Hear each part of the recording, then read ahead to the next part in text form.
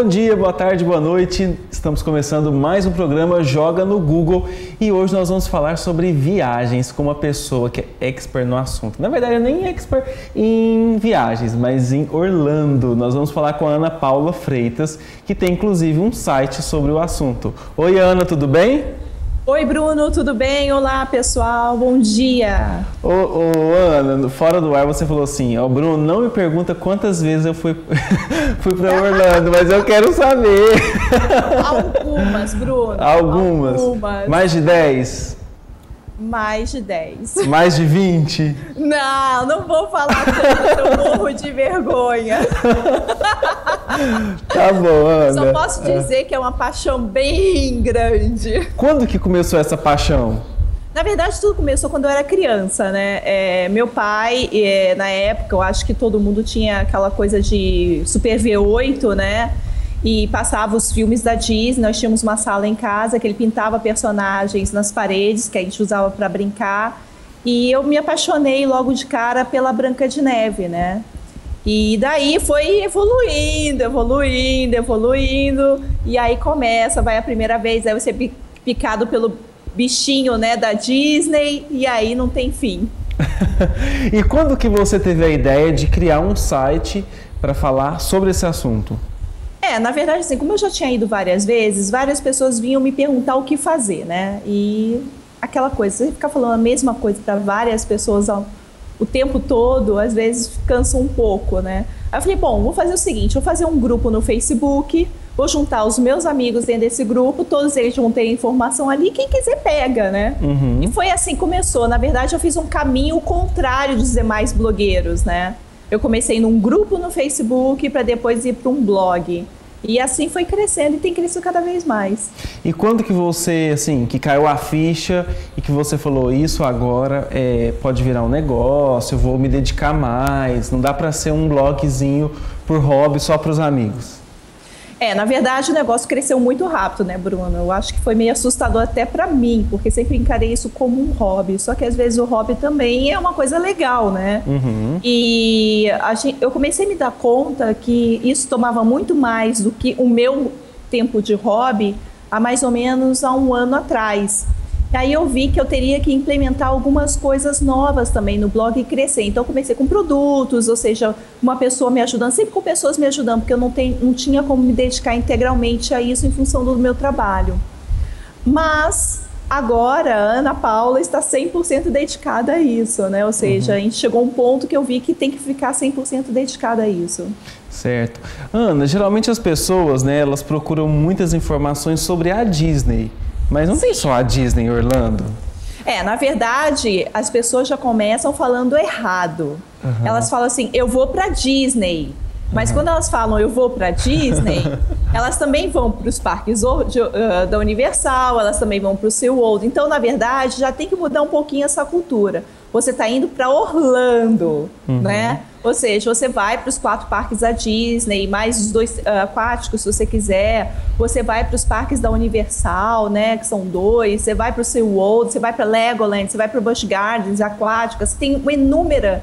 Uh, Uh, ou seja, a gama de parques em Orlando é enorme. Fora parques, também outras atrações, como jantar temático, como Medieval Times, né? Ou seja, uh, parques temáticos que são, por exemplo, Legoland, que é fantástico para crianças pequenas. Então, assim, tem uma gama muito grande para quem está indo para lá.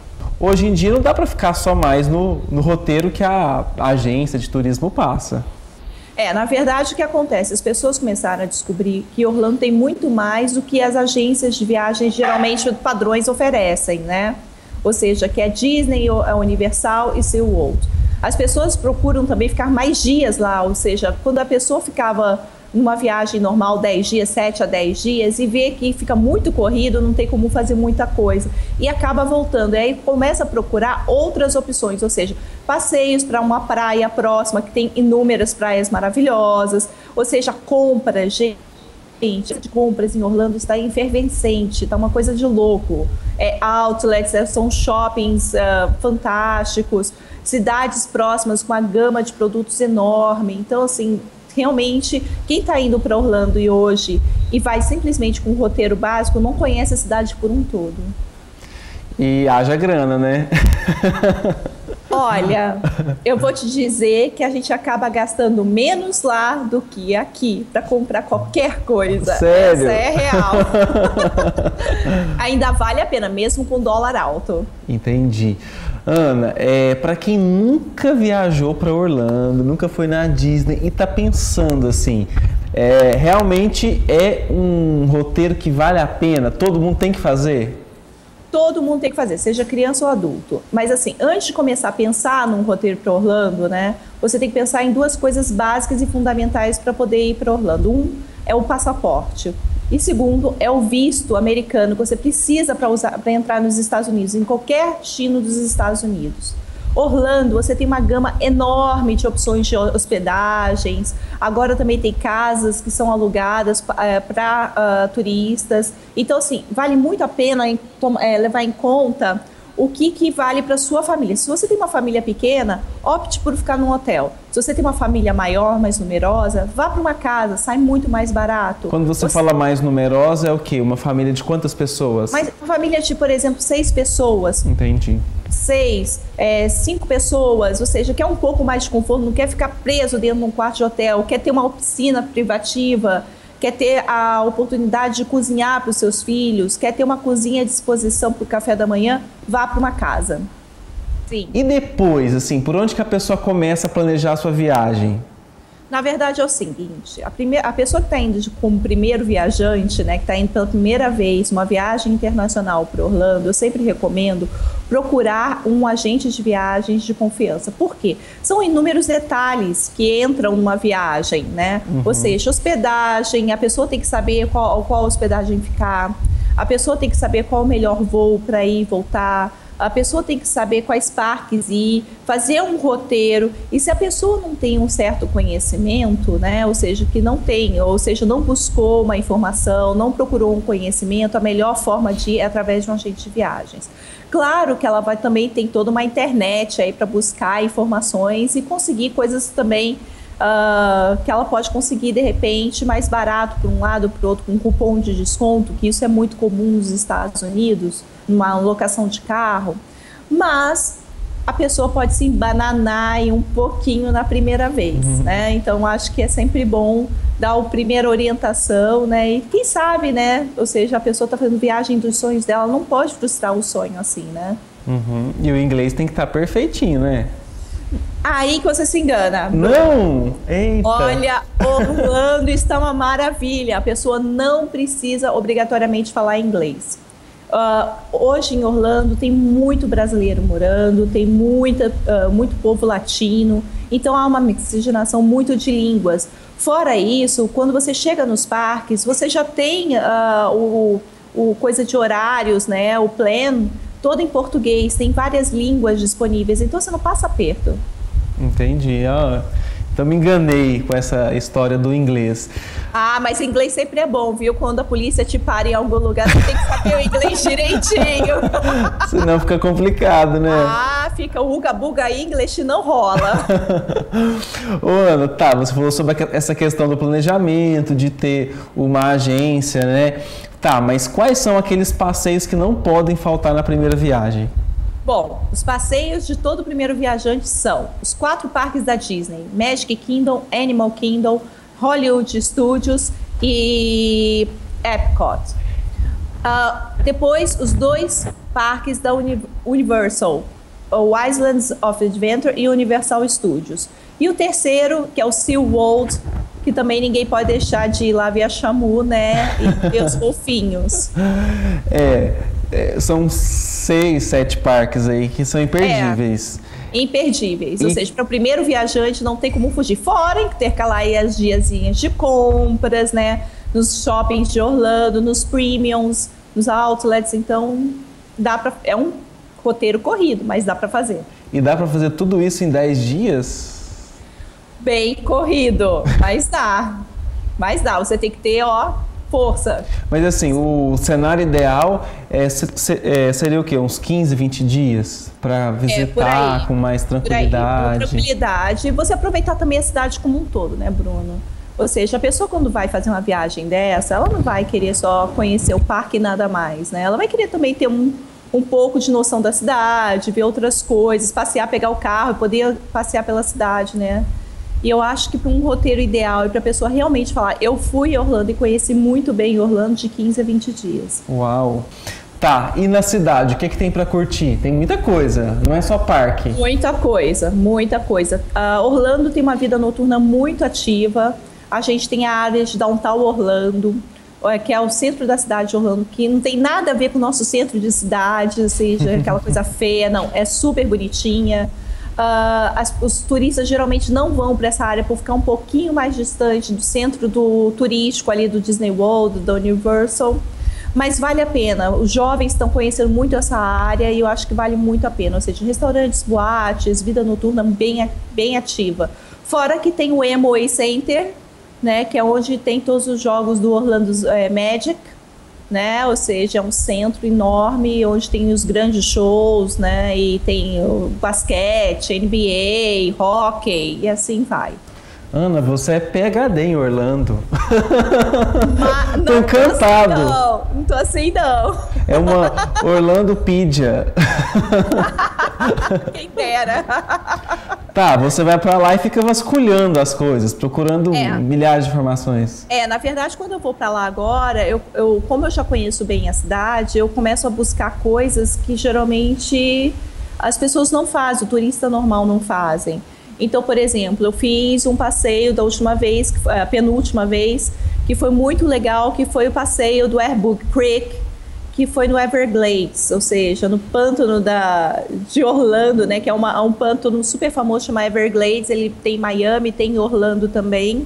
É um passeio num airboat com uma hélice enorme atrás, uma coisa, uma experiência única. E você vai para o meio do pântano e você vê jacarés, animais típicos e, né, crocodiles, né, no caso, não são jacarés, são crocodiles. E é muito legal, uma experiência fantástica. Uh, outra coisa muito legal que tem lá agora é a fábrica de chocolate, né? Uma experiência que você vai, você tem uma fábrica de chocolate e, e você prova chocolate, você produz chocolate, é fantástico. Também tem outras coisas legais, por exemplo, um simples passeio no Lake Eola, né? Ou seja, um parque lindo, maravilhoso, no meio da cidade, com chafariz, uma coisa meio Birapuera, para quem conhece Birapuera, né? Uhum. Mas com muito mais charme. E que você pode, no final de semana, fazer um passeio de bicicleta. Durante a semana não é permitido. Uh, nesse mesmo parque também tem os fogos de 4 de julho, típico americano, ou seja, nenhum turista vai para esses fogos em Lake Eola de uh, ah, 4 de julho. Eu tive lá, foi fantástico. Eu vi aquelas criaturas com aquelas luzes azuis e vermelhas, com aquelas roupas. Você fala, gente, eu sou um alien, eu tava normal. Mas o americano se empolga. O, americano tem um patriotismo que é dá até orgulho, assim, né? Você vê essa, esse patriotismo todo. E quais são assim os períodos do ano que você mais indica para quem quer ir para Orlando? É, é sempre bom fugir das férias escolares americanas, que é diferente do, um pouquinho da nossa, né? Ou seja, o período de férias escolares em Orlando, grandes, né? É justamente a época de julho. As aulas iniciam em agosto, né? Então, o que acontece? Uh, esse é um período de julho que é extremamente quente, tá? E que o parque fica muito cheio. Dezembro também, ou seja, épocas de festividades de Natal, também é extremamente cheio. Uh, os períodos que eu gosto de ir são setembro, que eu acho que são, a temperatura é bem agradável, o parque é mais tranquilo. E hoje tem uma série de facilidades também, ou seja, a pessoa pode estar no parque cheio, mas ela tem um fast pass que ela pode agendar antes, entendeu? Então ela não fica numa fila. Então tem várias facilidades também para um parque cheio. E os parques da Disney também têm isso, né? Ou seja, tanto Disney quanto Universal, quando atingem um, um certo limite, eles fecham. E isso acontece muito em dezembro, principalmente na, no dia de Natal e Ano Novo. Entendi. Você falou sobre a questão da temperatura, né? Então vamos falar de roupa. Que tipo de roupa que a pessoa tem que levar? Olha, geralmente as pessoas saem do Brasil com pouca coisa na mala e voltam com elas abarrotadas, né? Uhum. Mas assim, eu acho que o que não pode faltar é um tênis bem confortável. Primeiro, não invente de andar de salto, de sapatilha, é, de chinelo. Chinelo, por quê? Chinelo é até confortável, mas chinelo, você não vai conseguir ir nas montanhas russas com chinelo pendurado no pé. Você corre um sério risco de ficar descalço. Então, o melhor sapato para você fazer toda essa maratona de Orlando é tênis. Não tem dúvida. Roupas confortáveis também, né, Bruno? Nada que uhum. seja muito quente, ou seja, a temperatura em Orlando ela varia muito. Você começa o dia, até nos dias mais frios, com a manhã fria, a noite fria, mas durante o dia esquenta. E aí você não consegue ficar com aquela roupa pesada, né? Então, geralmente, o que as pessoas fazem? Saem com roupas leves e levam uma mochila, uma bolsa com um casaquinho, uma coisa mais tranquila. Para poder né, se agasalhar num friozinho que possa surgir. É, quais são assim, os principais erros dos turistas ao né, visitarem Orlando? Bom, é assim, é achar, a primeira coisa é achar que lá também é Brasil e que dá tudo se dá um jeitinho. Não, Estados Unidos não se dá jeitinho, as coisas realmente funcionam e são sérias. Então, assim, não adianta querer burlar, furar fila, coisas assim que são meio feias, né? Uhum. E tem em qualquer lugar do mundo, né? Para qualquer pessoa. Mas o brasileiro tem uma faminha aí de, né, de querer sempre dar um jeitinho nas coisas. Isso não é legal. Outra coisa, a pessoa achar que vai para Orlando e vai conseguir viver de cachorro quente e hambúrguer durante 15 dias. Isso é impossível. Ou seja, pode ser legal durante dois dias, três dias, mas chegar um ponto que você não aguenta mais. Cansa, e? Orlando, né? E Orlando não é só fast food, gente. Tem inúmeras opções de comida por preços super muito mais acessíveis do que fast food e que você pode se virar numa boa, né? Outra coisa é a pessoa achar que vai encontrar uma baiana com um tabuleiro no Magic Kingdom, né? Isso aconteceu. Isso aconteceu. Perguntaram lá no, no grupo do Facebook do Disney Deus, uma... tinha... se onde se comia a carajé no Magic oh, Kingdom. Ah. Acredite, é verdade.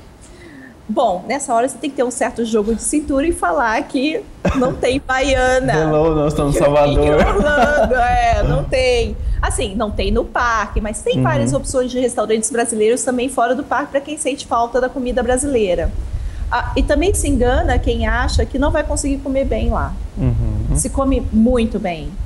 É, lógico, você tem uma coisa aí de temperos, para quem gosta de tempero mais forte, tem o tempero mais forte, mas também, também tem um tempero mais suave, entendeu? Então, assim, tem várias opções legais aí para fazer.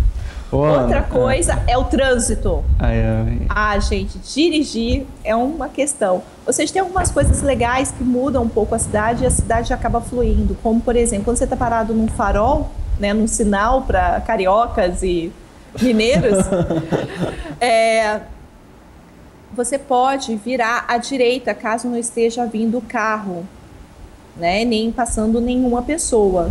Você pode virar à direita. É totalmente um pouco diferente do, do da lei do Brasil também. Ô Ana, é, você evangelizou esse povo, tá todo mundo querendo ir para Orlando, mas vamos falar de dinheiro, né? Quanto, no mínimo, uma família com quatro pessoas precisa reservar para gastar em Orlando? Fora o que ela já vai gastar com passagem, hotel, fora isso. Eu acho que para você ir confortável, você tem que aí pensar em mil dólares por pessoa, tá? Uh, dependendo do número de dias também. Mas eu acho que para você não passar aperto, você tem que ir com mil dólares por pessoa. Para 10 é, dias. É, por aí, uhum. por aí. Pra você poder comprar, você não vai para Orlando também, não vai querer comprar nada, né? Você vai sempre querer comprar alguma coisinha, trazer um, um mimo, uma lembrancinha. E assim, a tentação é grande, gente, vou falar sério. Você entra naquele par, naqueles parques, é tanta coisa linda e maravilhosa. Você quer comprar tudo, mas assim, controle-se. E o que eu faço? Ah. E eu faço uma coisa muito legal com meu filho, que é uma dica importante é essa. Hum. Quando você vai com crianças, você sempre tem, antes de viajar, uh, ah, para estabelecer um acordo com a criança. Então, a criança tem um dinheiro X para gastar por dia. Então, por exemplo, eu sempre dou ao meu filho 100 dólares, ou 50 dólares, ou 20 dólares, dependendo do, de cada família, para ele gastar comprando besteiras no parque. Ou seja, o que, que são essas besteiras? Souvenir. Então a criança vai comprar o que ela quer no parque e não vai ficar te saco, mamãe, compra isso, papai, compra aquilo. Não, ela sabe que o dinheiro dela é aquele e é aquilo que ela pode gastar por dia. Isso a gente não está falando, por exemplo, quando a gente vai sair para um shopping, comprar roupas, não. É o dinheiro que ela vai gastar em besteiras com ela. Né? E isso, olha, dá uma economia tanto no final das viagens, vou te falar, viu? você, antes de começar o programa, estava me mostrando alguns, algumas lembrancinhas, né, que você... Ah, Sua casa deve ser repleta delas. Bom, eu, eu tô com um problema. Ultimamente eu tô iniciando as coleções e tá ficando cada dia mais complexo. Daqui a pouco eu tô virando uma colecionadora compulsiva e tá ficando difícil. Vamos mostrar Bom, algumas coisinhas. Ah, não pode faltar Mickey, né? Mickey. Bom, e eu tenho a tatuagem da Minnie, né? Ah. Então, é seja, eu Mickey e Minnie. Lindo. Eu tenho também a coleção dos Tisuns, que é uma coisa muito legal que está chegando, que não tem no Brasil ainda. São esses bichinhos aqui que são fofos. A ideia deles é que eles fiquem amontoadinhos assim. Eles originalmente foram criados para limpar tela de iPad de celular, com essa barriguinha aqui, ó. Ah, que legal. É, isso aí é a Branca de Neve e os Sete Anões? Branca de Neve, é. Mickey, o Olaf do Frozen ah. e os anões. Ah. Eu tenho, na verdade, eu tenho a coleção da Lizzie, tenho da Branca de Neve Sete Anões, tenho o Mickey, ah, eu tenho da 101 Dálmatas e a Cruella. Então tá, tá crescendo. Essas lembrancinhas, assim, elas saem por quanto, mais ou menos? Bom, cada tissum desse aqui sai em torno de 6 dólares, tá? Uhum. 6 dólares. O Mickey chega em torno de uns 12 dólares, mais ou menos, por aí. Tá? Ou seja, agora lembre-se o seguinte: todos os produtos em Orlando uh, têm imposto além do preço normal que você vê na etiqueta. O preço, o preço varia, de, o, a, o imposto varia de acordo com o produto.